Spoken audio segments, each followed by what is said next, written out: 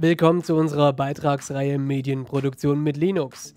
Diesmal geht es um die Installation und Einrichtung von KDE Neon. Wir haben uns für KDE Neon entschieden, weil kaum eine andere Distribution bzw. Desktop-Umgebung so umfassende Konfigurationen erlaubt wie eben KDE Neon. Was benötigt ihr nun, um Linux auf eurem Rechner zu installieren? Ganz klar ein Image, das könnt ihr euch herunterladen bei kde.org. Alle Links sind natürlich hier in der Videobeschreibung zu finden.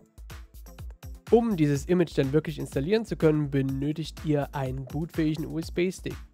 Um diesen zu erstellen, bietet sich Etcher an. Etcher ist ein Open Source Tool eben zur Erstellung dieser USB-Sticks. Die Oberfläche ist recht schnell erklärt, ihr müsst lediglich euer heruntergeladenes Image auswählen, einen USB-Stick bereitstellen, ca. 4 oder 8 GB sollten definitiv ausreichen. Wählt diesen aus und drückt anschließend einfach nur noch auf Flash. Etcher wird dann den bootfähigen USB-Stick für euch erstellen. Anschließend müssen wir dem BIOS einen Besuch abstatten. BIOS ist das Basic Input-Output System eures Computers.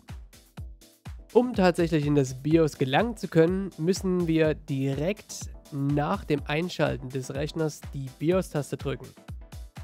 Diese Taste unterscheidet sich von Computer zu Computer. Häufig ist es F2 oder Entfernen. Ich habe allerdings auch schon F12 gesehen oder Escape oder gar F1. Schaut einfach im Manual oder im Internet nach, um die BIOS-Taste für euren Rechner herauszufinden. Euer BIOS wird sicherlich ein wenig anders aussehen, der Grundaufbau ist allerdings relativ ähnlich. Wir müssen uns zum Boot-Bereich bewegen oder zum Boot-Tab hier in diesem Beispiel und die Boot-Priorität oder die Boot-Reihenfolge umstellen und zwar von Harddisk oder von Festplatte auf USB-Stick, auf euren erstellten bootfähigen USB-Stick. Habt ihr das getan, müsst ihr einfach nur noch speichern und beenden. Anschließend bootet euer Rechner vom USB-Stick. Unter einem kleinen Menü müsst ihr nur noch auswählen KDE Neon testen und installieren. Anschließend begrüßt uns der wirklich sehr aufgeräumte Desktop von KDE Neon bzw. KDE Plasma. Nun müsst ihr nur noch Neon User installieren anklicken. Der nun folgende Installationswizard ist wirklich sehr sehr leicht verständlich und geleitet euch elegant durch die Installation. Nach erfolgter Installation und erfolgten Reboot kümmern wir uns nun um das Look and Feel von KDE Neon. Als erstes bauen wir unseren Desktop ein wenig Mac-like und danach ein Windows-Lookalike. Was benötigen wir als erstes für ein Mac-Look and Feel? Ich würde sagen, wir rufen mal kurz die Systemeinstellung auf. Mittels Alt- und Leertaste könnt ihr die Kontextsuche aktivieren. Einfach nur Systemeinstellung eingeben. Und mittels Anwendungsstil können wir die Fensterdekorationen, wie sie hier genannt werden, einstellen.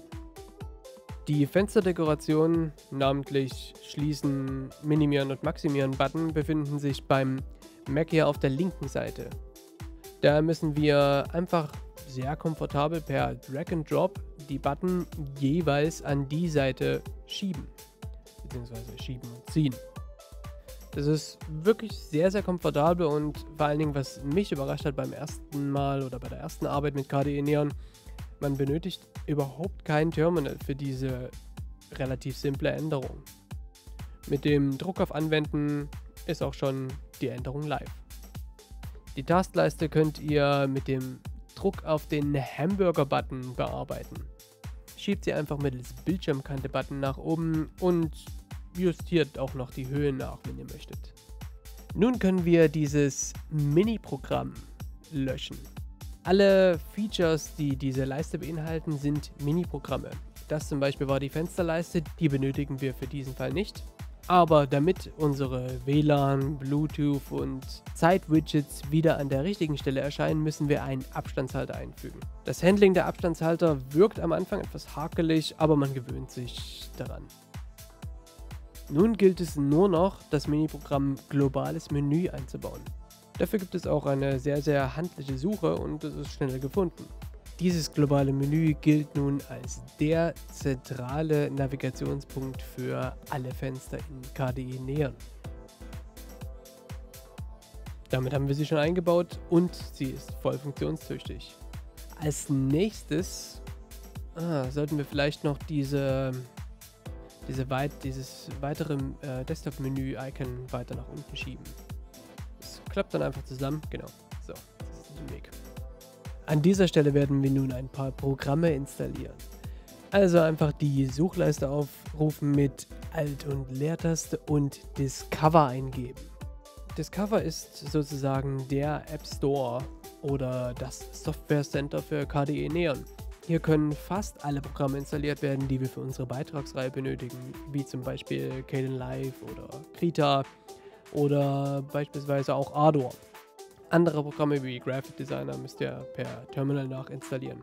Wir haben im Blog einen grandiosen Artikel, der sich direkt darum kümmert.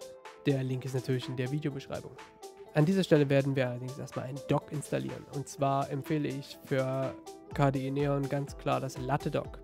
Nach der Installation erscheint es auch schon unten und wir können weitere Konfigurationen vornehmen. Die Liste der möglichen Konfigurationen ist unglaublich groß.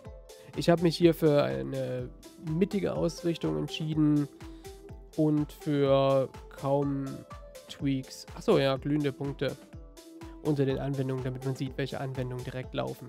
Also ihr könnt wirklich sehr, sehr viel nach euren Wünschen einstellen an diesem Dock.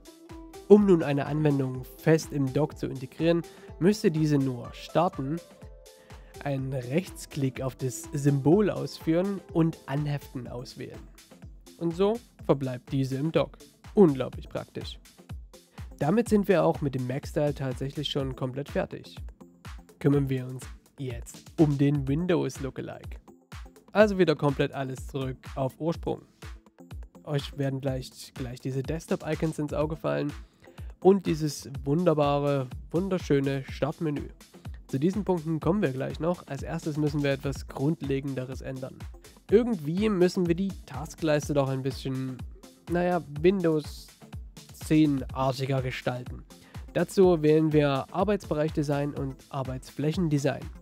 Hier fügen wir einfach neue Erweiterungen hinzu und suchen nach K10 oder K10. Installiert diese Erweiterung und wählt diese anschließend nur noch raus und wendet sie an. Und voila. Das ist schon ziemlich Windows 10-like, möchte ich sagen. Okay, klar, die Desktop-Icons machen schon einiges. Ja, passt noch die Taskleiste euren Bedürfnissen an. Ja, bisschen größer, nicht schlecht. Auch das Tastenmenü sieht schon bedeutend mehr nach Windows aus. Gut, kümmern wir uns mal um das Fensterdesign. Als nächstes gehen wir einfach in Anwendungsstil, in die Fensterdekoration und wählen Neue Dekoration herunterladen. Auch hier wieder K10 oder K10. Installiert diese Anwendung einfach und wendet sie natürlich an.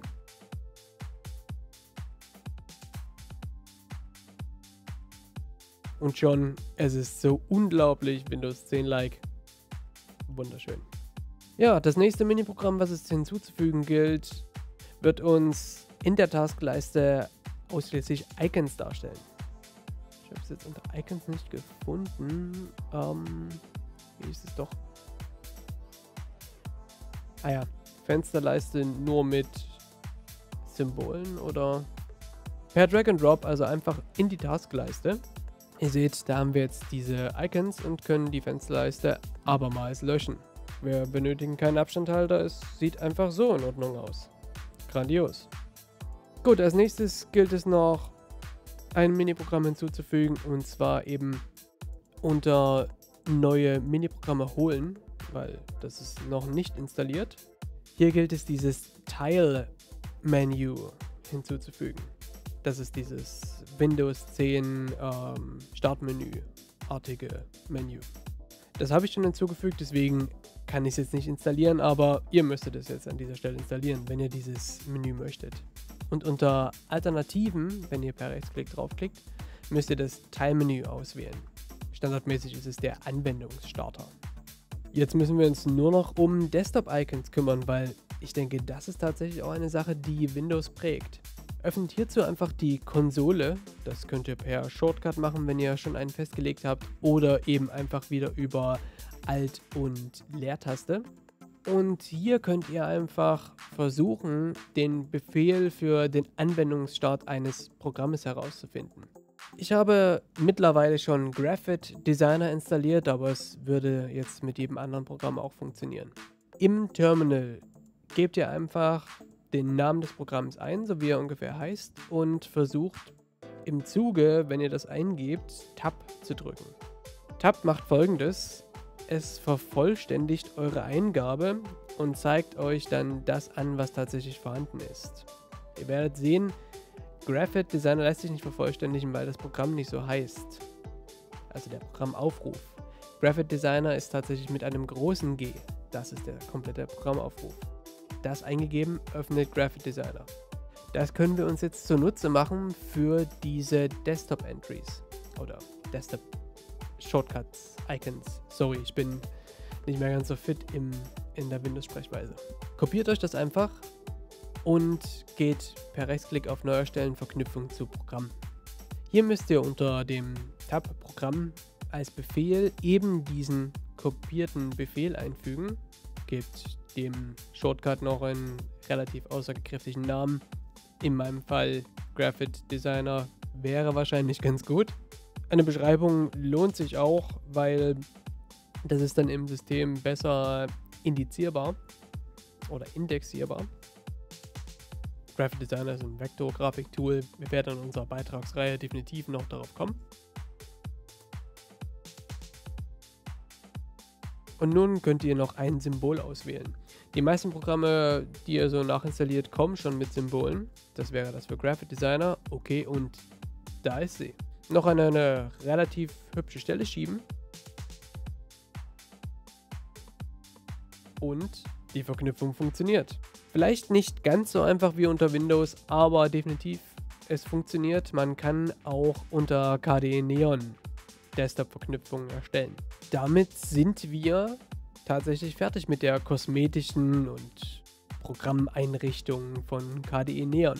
In den nächsten Artikeln und Videos kümmern wir uns dann tatsächlich um spezifische Programme, die ihr für die Medienproduktion unter Linux verwenden könnt.